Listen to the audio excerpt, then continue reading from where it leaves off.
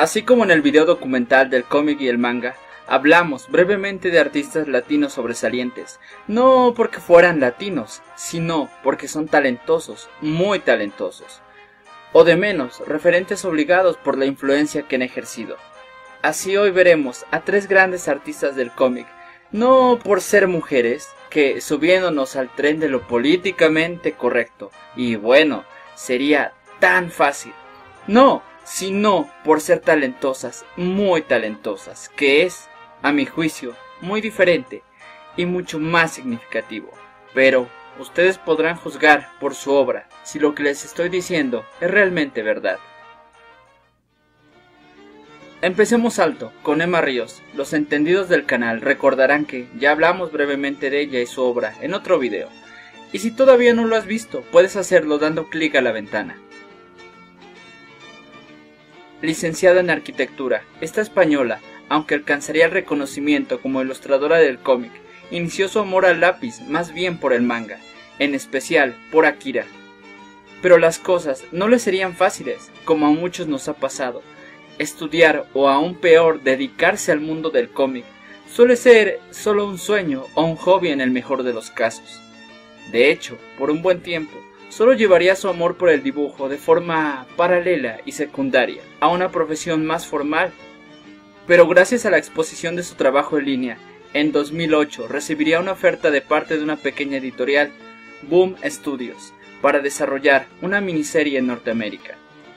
Y ese sería el momento de inflexión en su carrera. En sus propias palabras, tanto la arquitectura como el cómic son trabajos muy exigentes que no puedes compaginar, pero en ese momento solo pude pensar en si sería capaz de verme como arquitecto en 10 años. Así que, básicamente, decidí apostar por abandonar el estudio y ver qué tal iba la cosa. Y la apuesta fue excelente. Después de un buen resultado con la editorial Boom, antes incluso de terminar su trabajo ahí, ya tenía una oferta de parte de Marvel, donde se encargaría de ilustrar sobre todo a Doctor Strange, entre algunas colaboraciones muy puntuales que incluyen a Spider-Man dentro de Amazing Spider-Man. Pero hablemos de su estilo ahora. Aunque del medio del cómic americano, su estilo está fuertemente influenciado por el manga, con figuras más estilizadas, incluso un tanto andróginas, trabaja, sobre todo, una paleta de colores intensos y llamativos, y suele encargarse por completo de su obra, tanto en el lápiz como en la tinta, marcando aún así más su estilo propio. Y aunque ese estilo siguió gustándole a Marvel, sería ella misma quien decidiría abandonar la editorial.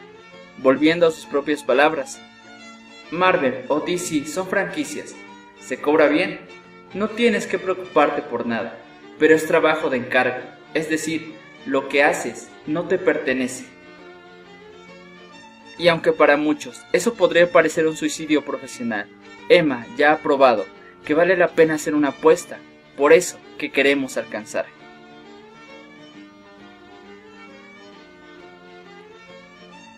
Oriunda de Florida y con un currículo impecable, se graduó en idiomas, posteriormente en Derecho, pero aunque le gustaba el derecho, no le gustó ser abogada, por lo que acabaría decantándose por la escritura.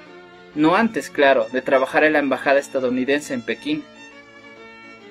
Con un estilo que combina la fantasía, el romance, lo paranormal y los entornos urbanos, así como un juego cultural entre lo oriental y lo americano. Las novelas de Marjorie, con una veintena de ellas actualmente y contando, no solo despertaría la fascinación del público, sino de Marvel, que vería en su trabajo una necesaria revitalización a muchas de sus series. Más conocida por encargarse primero de X23, que ahora que se acerca la película de Logan estará en boca de todos, y posteriormente de Dake, hijo de Wolverine, y hasta de Black Widow. Ella ya es como de la familia entre los X-Men. Y como si eso no fuera suficiente, además de trabajar con Marvel, ha trabajado con Image Comics en Monstres. Sigue escribiendo, colaborando periódicamente con Marvel, e incluso ha impartido algunas conferencias en la MIT.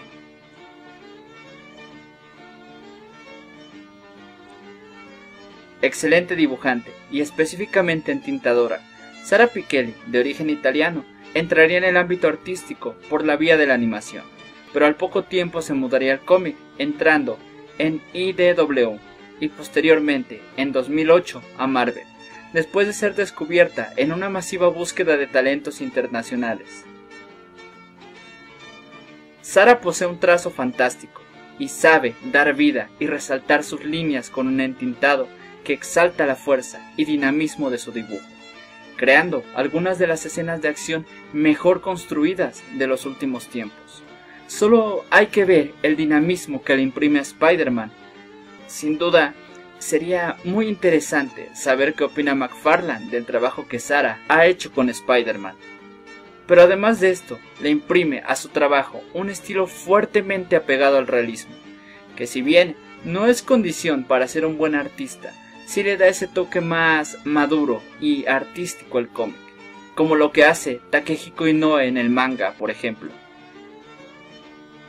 Ha trabajado con Miles Morales como Spider-Man, y en esta misma continuidad nos ha dado la más reciente reinterpretación de un Venom, más alienígena y cargado de texturas. También ha trabajado con personajes como Black Cat, los Guardianes de la Galaxia o hasta los X-Men. Como si todo esto no fuera mérito suficiente, Sara es una de las artistas más laureadas, con premios como Mejor Artista, Mejor Debut y hasta el premio Eagle, bastante cotizado entre los talentos del cómic. Aunque no lo crean, una de las mejores cosas del canal es leer sus comentarios. Eh, bueno, la mayoría. y una sugerencia en particular, me parece de hecho una excelente idea que podremos poner en práctica. Así que, a partir de este video, puedes enviar tus dibujos. Pero, solo la página de Facebook del canal. Y en un futuro no muy lejano tendremos videos revisando, corrigiendo y dando consejos sobre los dibujos que envíen. Así que no te olvides de enviar tus dibujos.